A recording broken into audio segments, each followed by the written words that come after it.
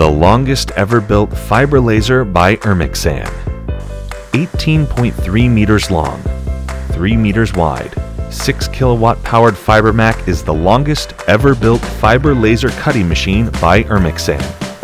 Furthermore, its two-axis cutting head by motorized plus minus 45 degrees left to right movement gives the ability of linear bevel cutting at any smaller and equal 45 degrees for welding processes.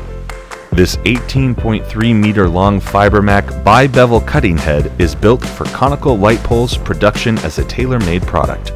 This machine, with 6 kilowatt resonator, has cutting capacity of mild steel at thickness of 25mm perpendicular and 15mm angular cutting.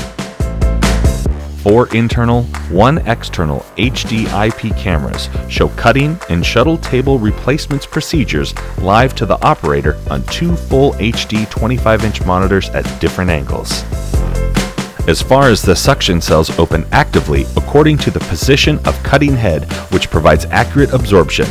The 18 pieces of lateral conveyors work actively according to the position of cutting head, which provides effective waste disposal and reduces electricity consumption. With 50 years of technological investment and our innovative R&D department, Ermaksan has become one of the world's leading companies in the sheet metal fabrication machinery industry.